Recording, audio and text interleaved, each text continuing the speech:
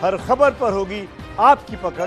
Download कीजिए ABP live app Delhi में lockdown के बीच मदर डेयरी और सफल स्टोर पर दूध और सब्ज़ी लेने के लिए लोग पहुँच रहे हैं। वैसे अमूमन दिल्ली वालों की आदत है मदर डेयरी में सफल में जाकर रोज सुबह खरीदारी करने की। लेकिन आज किस तरह का मंजर? सुबह सुबह लॉकडाउन के बाद दिखाई दिया। देखिए संवाददाता अभिषेक की रिपोर्ट। हम इस समय उद्यन मार्ग पर मौजूद है और यहाँ पर एक मदर डेयरी बूथ भी है जहाँ पर लोग बाग दूध लेने के लिए आ रहे हैं। आज चूँकि दिल्ली में लॉकडाउन शुरू हो चुका है और यहाँ पर हम आपको दिखा रहे हैं कि यहाँ पर दूध की सप्लाई में कोई दिक्कत नहीं है। पीएम और सीएम दोनों ने ही ये अनाउंस भी किया था कि आवश्यक वस्तुओं में कोई कमी नहीं रहेगी। इसी वजह से लोगों के मन में खासतौर पर दूध और सब्ज़ी आदि के लिए कोई चिंता नहीं है।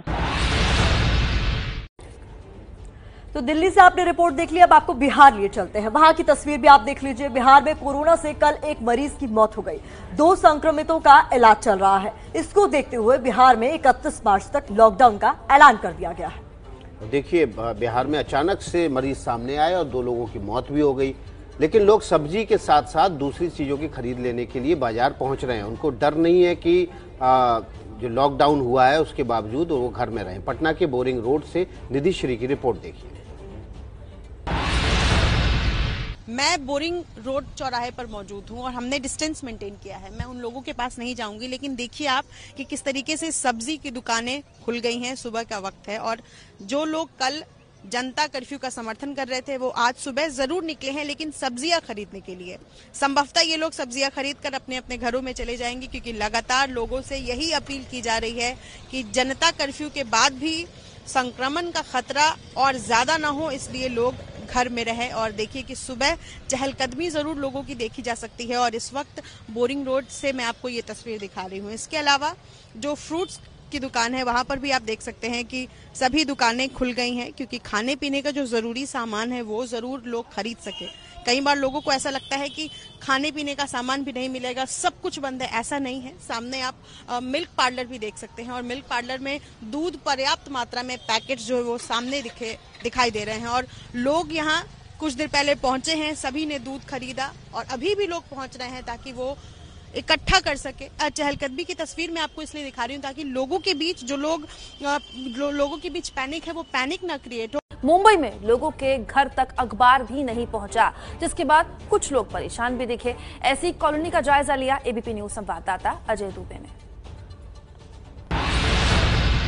कोरोना वायरस को लेकर एहतियातन। देश के कई शहरों को लॉकडाउन कर दिया गया है। मुंबई में भी ऐसे ही हालात हैं। अब सुबह सुबह लोग जब घरों पर हैं तो उन्हें ज़रूरत के सामान की ज़रूरत है, दूध की ज़रूरत है, सब्ज़ी की ज़रूरत है। सुबह सुबह लोग अखबार भी पढ़ते हैं। अखबार घर तक पहुँच रहा है कि नहीं, इसकी पड़ताल के लिए हम निकले हैं। लॉकडाउन की स्थिति में, जैसा कि बताया गया है वेंडर्स की तरफ़ से, क्योंकि जो डिस्ट्रीब्यूटर लड़के होते हैं अखबार के, उन्होंने आने से मना कर दिया। इसलिए मुंबई के बड़े हिस्से में अखबार नहीं पहुँच रहे हैं। अभी देखिए, बुद्ध विहार कॉलोनी है अंधेरी इलाके की, और यहाँ पर तमाम लोग अपने घरों पर मौजूद हैं। हमने ऐसे भी उनसे बात की तो उन्होंने यही बताया कि अब तक अखबार नहीं पहुँचा है और अखबार को लेकर अभी भी इंतज़ार उनका जारी है और उन्होंने जब अपने वेंडर से डिस्ट्रीब्यूटर से बात की तो उनकी तरफ़ से यही बताया गया है कि ऐसी स्थिति में, क्योंकि डिस्ट्रीब्यूटर्स नहीं है, इसलिए अखबार नहीं पहुंचेगा। तो ये स्थिति है सुबह सुबह अब सब्ज़ी देखेंगे आप, सब्ज़ी के कुछ ठेले भी लग गए हैं यहाँ पर सुबह सुबह और लोग जो है वो पहुँच रहे हैं सब्ज़ियाँ लेने के लिए। इन सब परिस्थिति के बीच में बड़ी जो चुनौती, अखबार नहीं पहुँच रहा है और लोग सूचनाओं के लिए जिस तरीके से अखबार पर आश्रित है, इसे लेकर लोगों का इंतज़ार अभी भी बना हुआ है।